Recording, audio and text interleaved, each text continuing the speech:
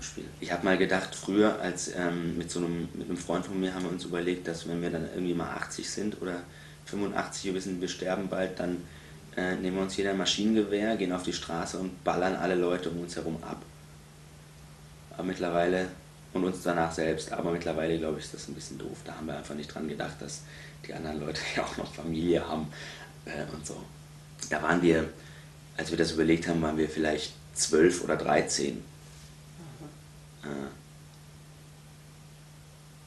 Da war das so eine Art von, von Freiheitsgefühl, mal auf alles scheißen. Na, ich will einfach nur noch leben, auf jeden Fall noch eine, eine, eine ordentliche Ecke.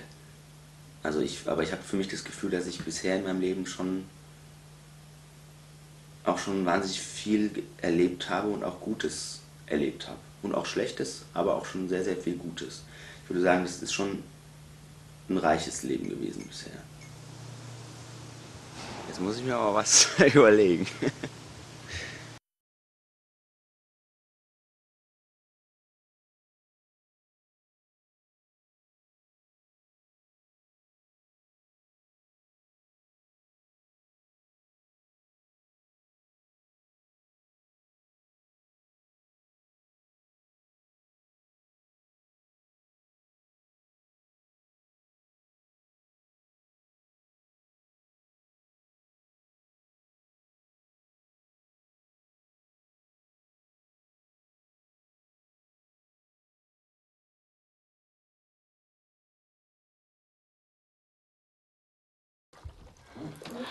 Jackie.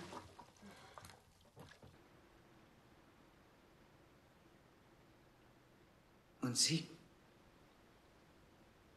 Wo sind Sie zu Hause?